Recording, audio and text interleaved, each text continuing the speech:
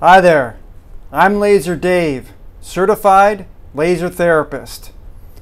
I've been using laser therapy in my practice for many, many years to treat all different types of conditions, including pain, stress, addictions, like quitting smoking, alcohol, drugs, and more.